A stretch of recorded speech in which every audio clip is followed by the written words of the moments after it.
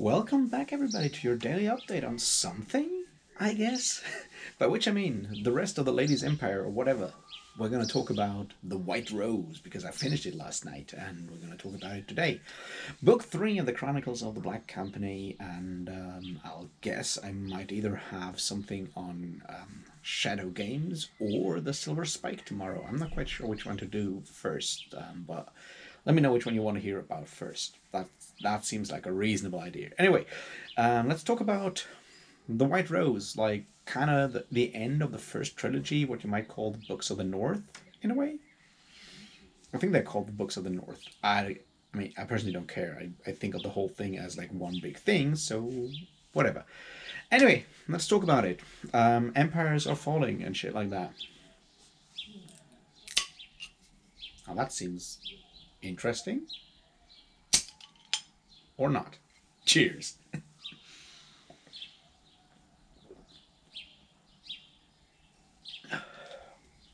so yeah, once again, I'll go like spoilery and discuss the whole thing.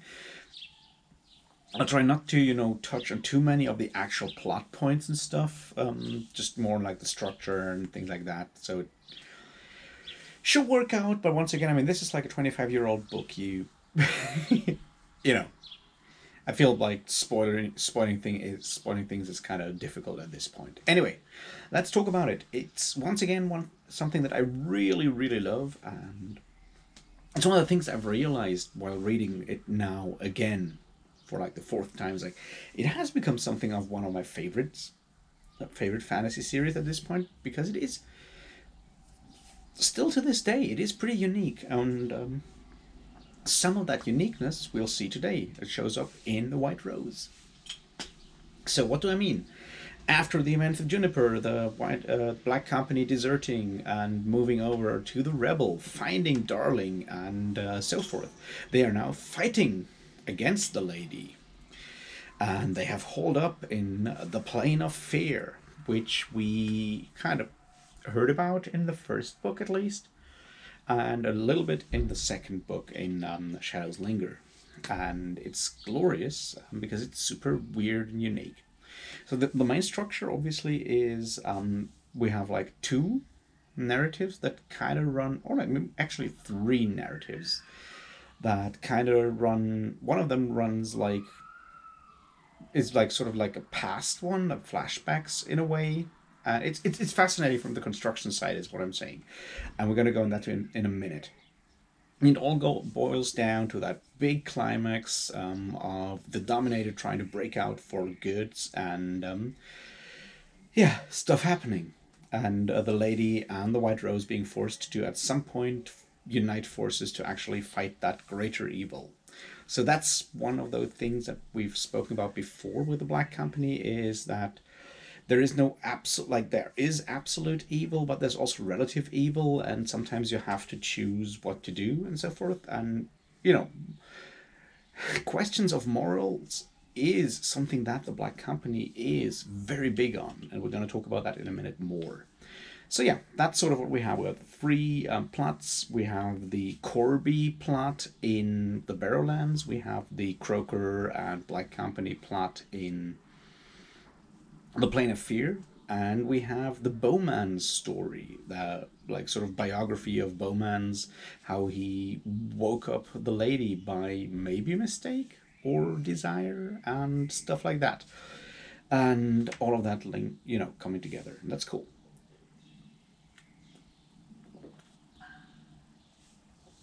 So let's talk about the first big thing the world building it's still chaotic. It's still not, you know, coherent or what you might call coherent in like what you call modern fantasy, contemporary fantasy literature. But it is so out there, right?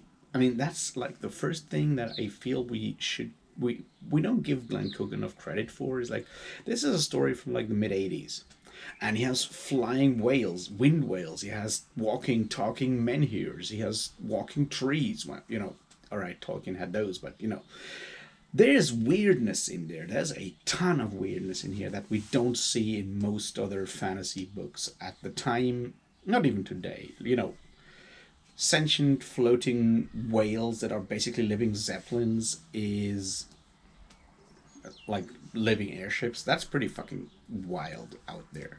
Also with tentacles because tentacles, you know. so that whole thing is just I feel one of those things that Glen Cook can do because he has he doesn't have that like really coherent world building that a lot of like other fantasy worlds at this time have or nowadays even have where there's like everything has to make sense and it has to have like a logical background or whatever and he's like no fuck that. We have i want talking menhirs i get talking menhirs i want floating whales. I get floating whales. Not your problem. I make this shit up because i'm the master of this world. And that's great. And we need more of that. I mean no one ever asked Fritz Leiber why there is the sinking land between Lankhmar and Ilthmar that goes down and goes up every I don't know how many hours. You don't talk. You don't. We don't. You know, argue about that kind of stuff with like old sword and sorcery uh, pulp stuff, but with like modern fantasy, it has to make sense. There's a logic hole in there. how would that work? And you know, Glen Cook is just like, you know what? There's a giant tree god in the middle of that desert, and you know, that's all the reason you're gonna get. So that's cool. And I, I really can't put enough emphasis on how much I love the fact that he goes all out there and invents like all this crazy stuff and like and it's still like really cool. So yeah, there's that.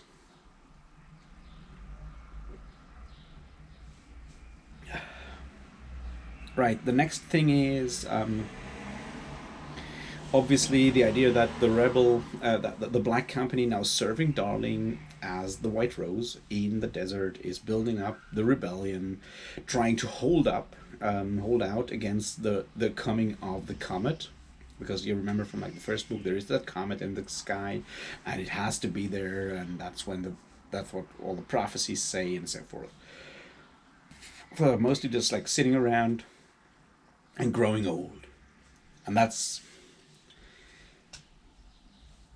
the main theme here and that's like another thing that we don't get a lot of in a lot of like other fantasy at the time. Now yes there is the whole like last couple of books of like Fafhrd and grey mouser where those two are getting old but they're still not you know getting old old they're still like heroes and stuff. They're just like older. But most fantasy heroes at the time are you know young unless they're wizards. You know wizards are always old and white bearded and wise Gandalf ripoffs, or whatever that druid in Shannara is called. I don't know. He sucked. Um, but you know, that's the point. It's like heroes are young and powerful. And what he shows us here in what Glen Cook once again does is he goes out and just shows like, yes, those are average people. They're not all good. They're not all bad and they're growing old. They're soldiers in their mid 40s, mid 50s, whatever. Um, which goes back to that whole idea that with the Black Company, you have average people, you have normal people. You, you meet those people, Croaker and Elmo, even the lieutenant, and Otto and Hagop, and all those, you know, those people. Um, they are, they're getting old. They are suffering from being like cooped up there, fleeing from everyone and it shows. But they're still you know they, they do some doing something that they believe in so that's how it goes. That's how it works.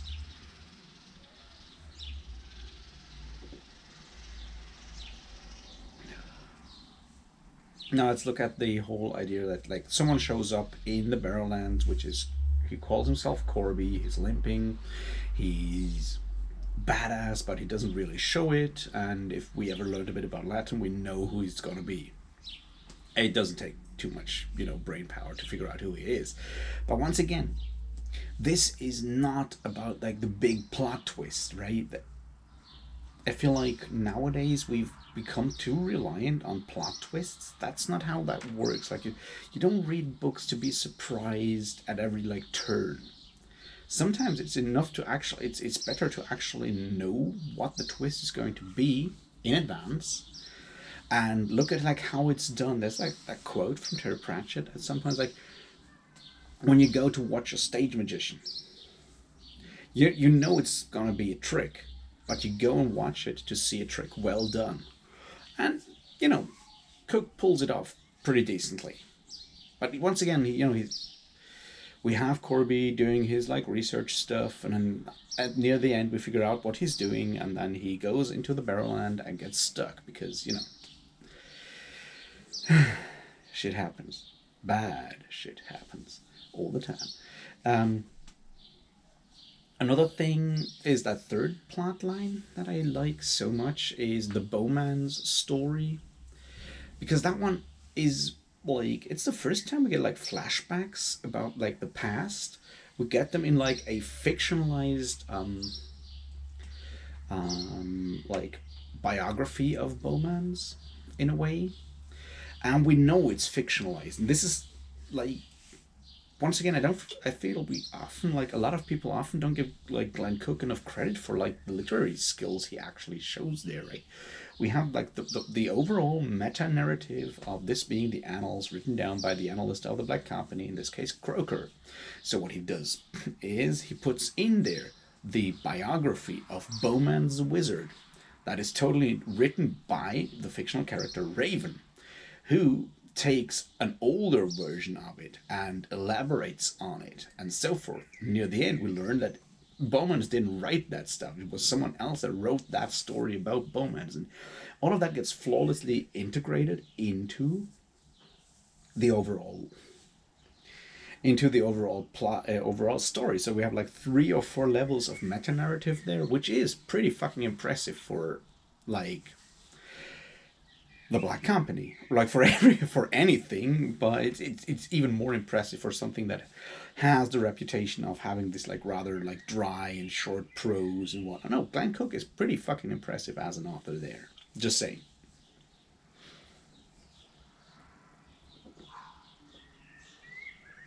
So we see Bomanz trying to, um, you know, gain access to the Barrow lands to the Barrow to uh, communicate with the lady who is still interred at the time to gain power. We don't even really learn why he wants to gain power. He just wants to gain knowledge and power. And he may just be a bit in love with the lady because everyone is in love with the lady.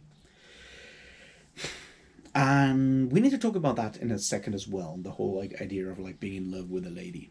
Um,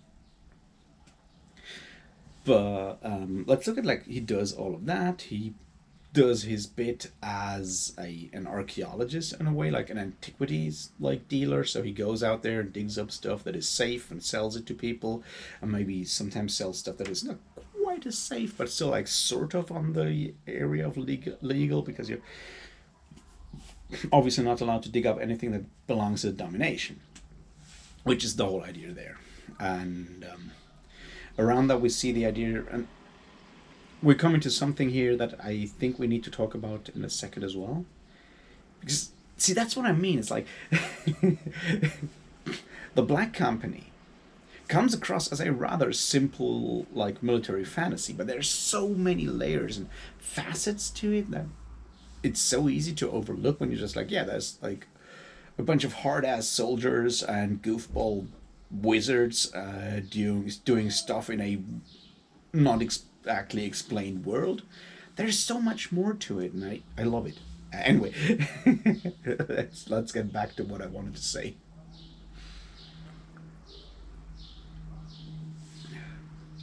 All right, so there's the idea is doing that.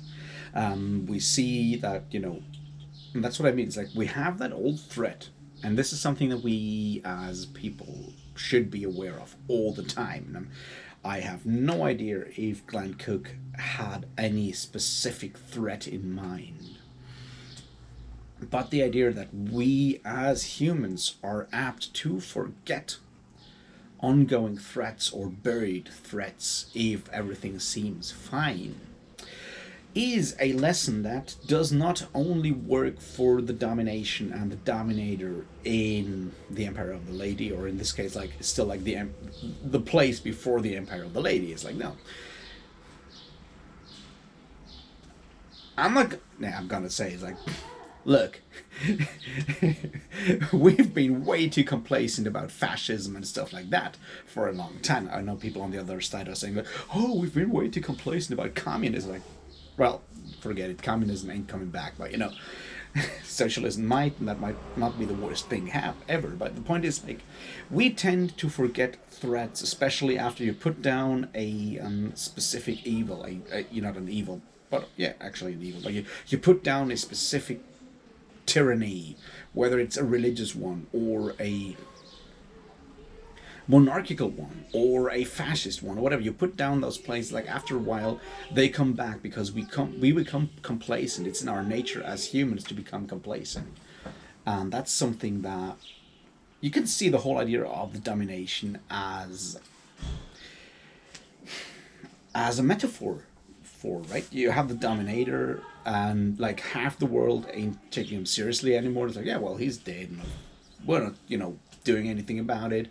And then you have a few madmen who are like, or mostly madmen, who are very much into resurrecting him, resurrectionists that we're having there as well. Plus, you have a few people that are just curious, and the fascination of evil is something that we see there as well, right?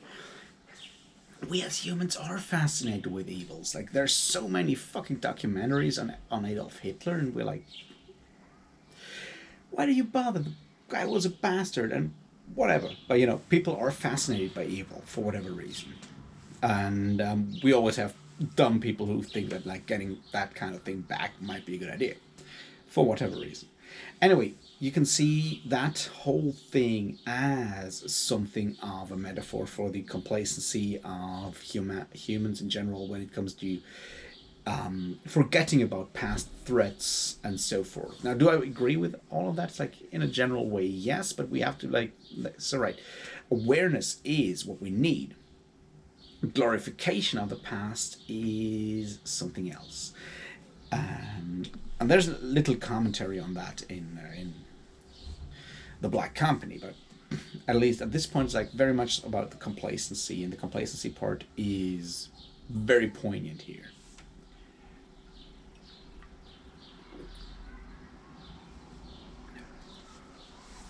But another thing that I really enjoyed about um, the whole like Bomanz story is well, both Bomanz and his wife Jasmine don't come across as super nice, and since it's Bomanz point of view, which is weird because it's apparently told by Jasmine, you have like that old couple, and there's like um, and it's like one of those parallels that I guess I'm only realizing by now between like the Malazan stuff and the Black Company.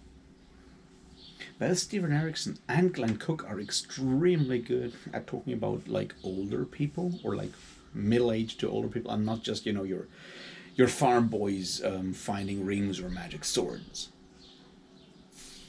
which is really fascinating. So you have like even between like Bomanz really hating like his wife and stuff, you have these moments where he sits down and thinks about it, and it's like, yeah, you you know how how growing old changes people, how growing old can is is apt to um, you know take away a lot of the magic of youth, the magic of love, and there's that like amazing point where it's like inside he's still that young student but his body has changed obviously and he's trying to break out of that. And that's like once again this is like a very good general observation on like how it feels to grow old. It's like your body doesn't do what you no, not for me. I'm obviously still as young as i feel. Um no. Point is um it's an interesting aspect the idea that like long-term relationships are a difficult thing because there's routine that settles in suddenly stuff that was like super magical in the past just doesn't happen anymore. Uh, things like that and i'm one to talk right? I got out of that. Anyway the point is um, there's a lot of like very very human observations hidden in this book that i really really appreciate a lot because um, a lot of our like fantasy literature of today is very much about not talking about like the, the, the human element the the really human element of like what it feels to be a normal person, and Glen Cook manages that in an incredible way. Also, I fear I'm probably just visible as a shadow by now because the sun came out. Anyway, you can't change the weather. Uh, at least I can't. Um, let's look at more like Black Company stuff.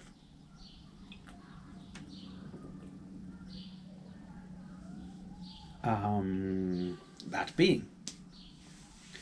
So we have the Bowman story that gets mailed to Croaker by Raven. And then Croaker goes out to get that stuff. He gets caught. And he comes back to the lady. And here's something that we need to talk about the lady that I find it interesting. So, first of all, having the lady as the like slightly ambivalent, but still like for like the first three books, the most powerful people in that world are both women. Now, why is that important to mention that? I would say nowadays not so much, but this is like a book. These are books written in like the early '80s, the first half of the '80s. Having both your big evil person and your big good person or kind of good person, Darling the White Rose, both be female is a bold move in a way.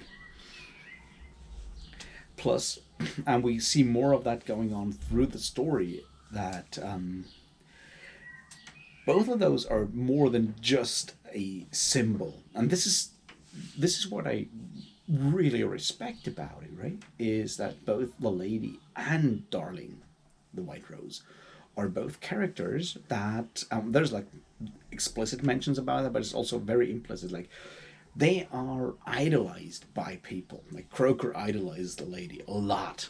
And you have like people like raven and then silent people like idolizing um,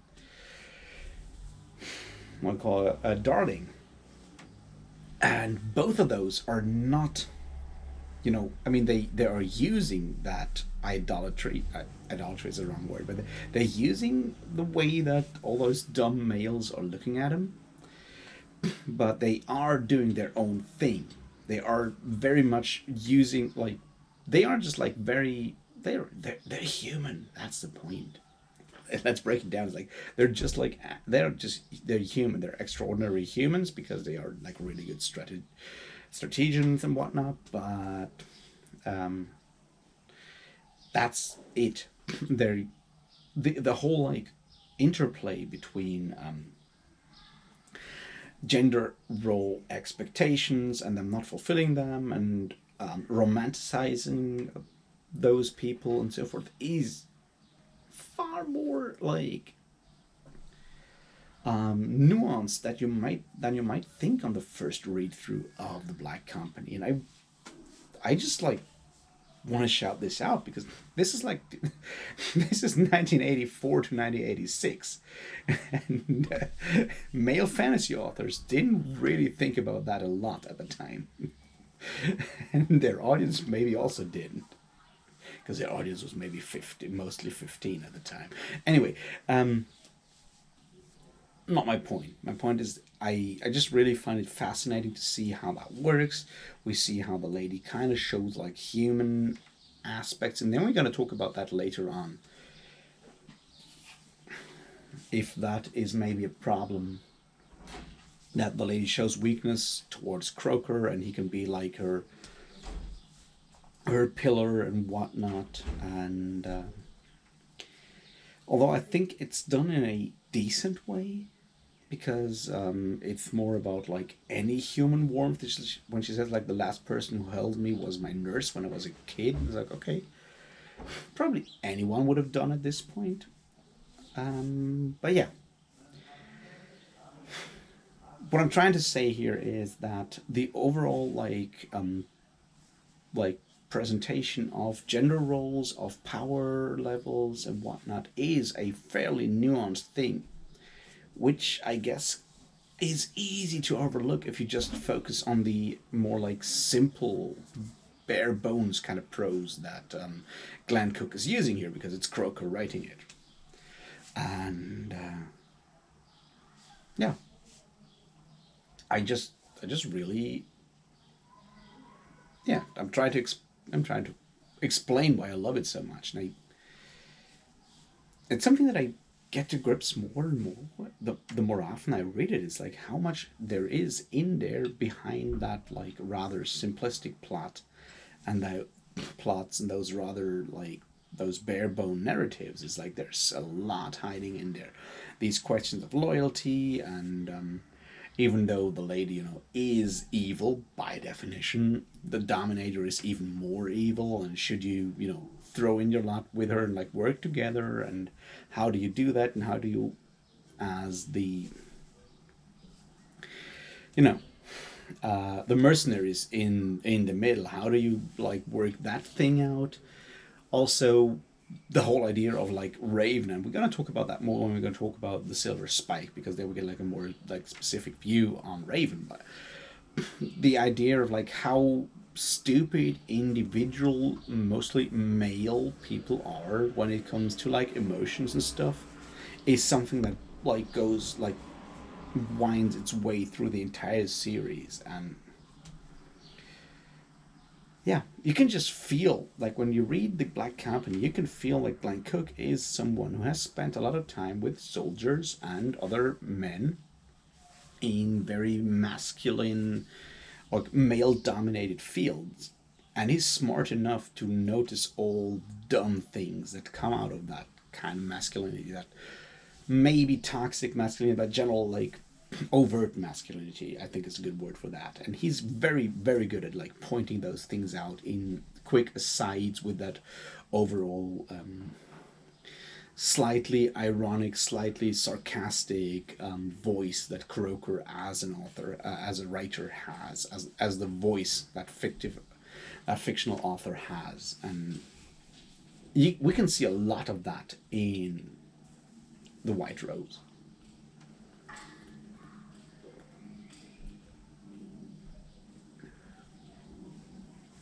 Another thing that I find very interesting is um, we have all that weird shit, right? We have wind whales, we have all that stuff, and there's like a dragon in there, and the dragon's not a big deal. It's like there's one dragon in the entire series.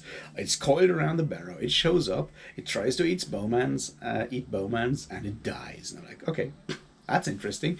that's the most underwhelming use of a dragon I've ever seen, and I, I, I just love the fact that for once, dragons are not a big deal. I mean, they're sort of a big deal, but not that much of a big deal. It's like it doesn't ex- get explained where that dragon came from. There's no other dragons in the entire world. Apparently, there's one dragon and it dies, and that's it.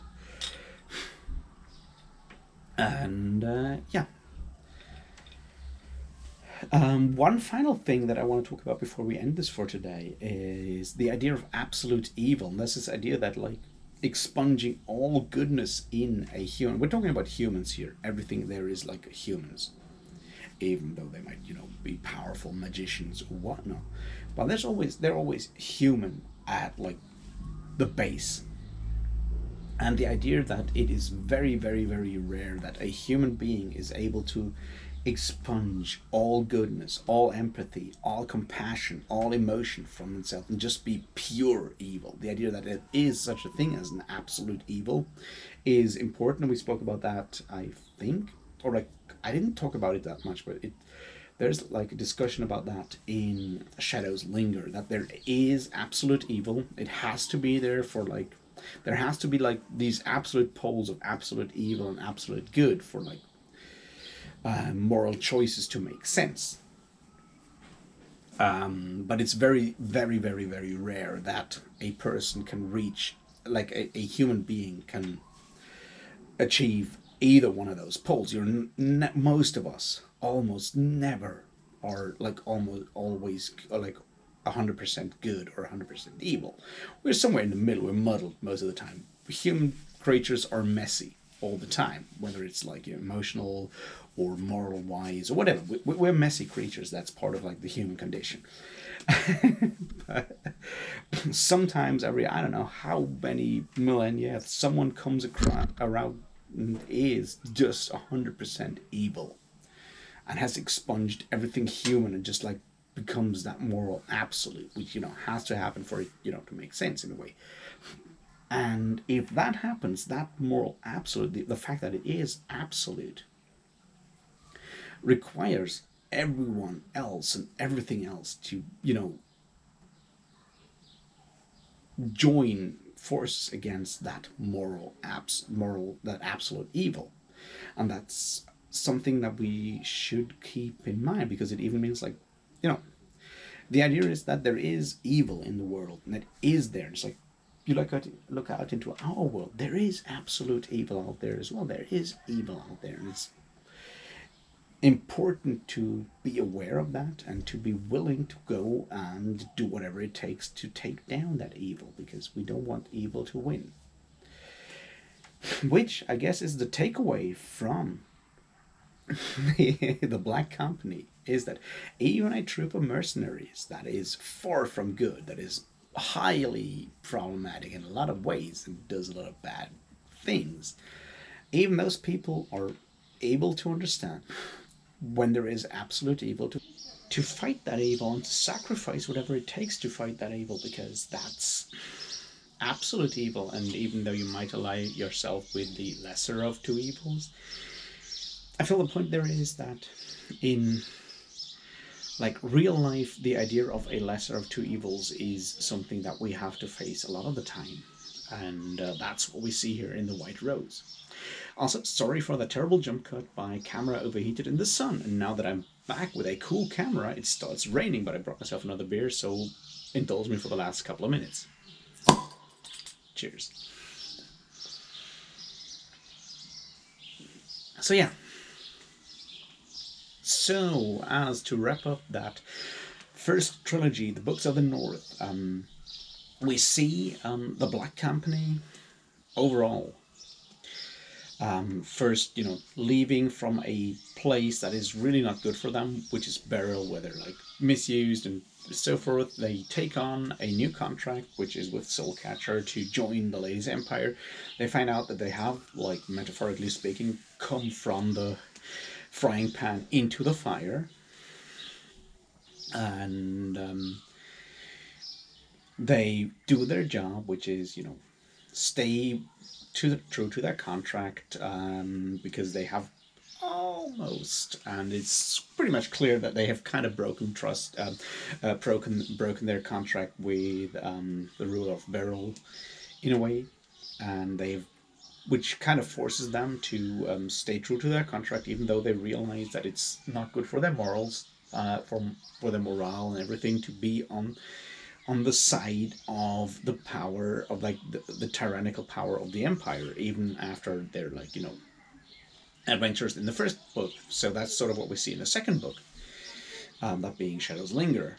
Until they are forced to get out of that because of intrigues higher up in the hierarchy of the ladies empire which force them or drive them into um, the uh, arms of the rebellion and uh, they do that until a larger evil, a bigger evil comes up, an absolute evil comes up that forces them to work together with the lady and her forces to take down the Dominator. Which brings up that idea that some parts of moral morality are absolute and others are relative, sort of, or that an absolute forces like forces perspective on other aspects of what of good and evil, I guess.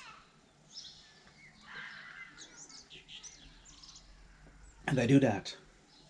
It takes down the almost apart the entire company, and they decide to do the one thing they have to do, that being to take home the annals, to take back the annals to the um, to Khatovar, which is what we're going to see in the next couple of books, and. Um, that's sort of where I'll leave you for tonight um, while it is starting to rain around me because fuck weather this year. Anyway, this is where I'm gonna leave you for tonight.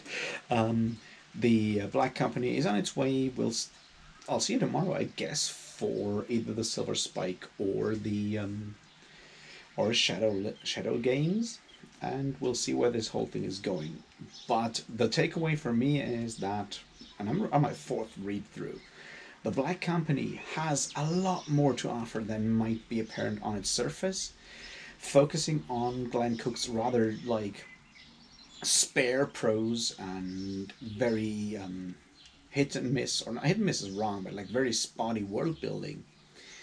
If you focus on that and apply like modern reading conventions of modern contemporary fantasy, you're missing out on a lot because it does have a ton of incredibly well done like characterization in there in between. It does have a lot of interesting themes and deals with those in the language of the average person. And that's sort of like what makes the Black Company so great. It's it's fantasy written by an average guy, written for average guys, guys being very gender neutral here, like about average people dealing with the like moral quandaries we all face in our lives just like you know hyped up because it's it's still mercenary fantasy in a way.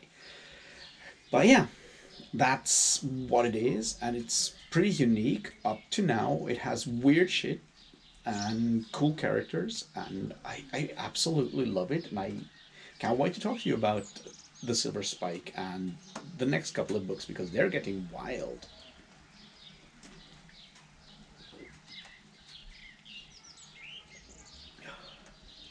And yeah, I completely forgot to talk about the fact that Cook is using a lot of like magic things to implement ideas that he knows from his military past with all the, you know, bombers and stuff like that with the carpets. But maybe I'll, you know, go back to that tomorrow. I don't know. I don't want to, you know, stretch it too much, but I, I should have talked about that earlier, but, you know, my brain is not good. But the point is, he uses magical things to um, implement parts of, you know, military technology that we know from our world to put that into place. But on the other hand, a lot of that doesn't play a huge role in the story. I just wanted to mention that, yes, he does that as well. So anyway, read The Black Company. Uh, although I guess if you've made it to this point, you've already read The Black Company. Point is, it's an amazing book. It's an amazing series of, of books, and I hope you enjoyed it as much as I do. And if you have comments and whatnot, then put them down. Then, you know, put your opinions down in the comments, and we can have less some kind of discussion about The Black Company. Until then, I'll talk to you tomorrow. Cheers.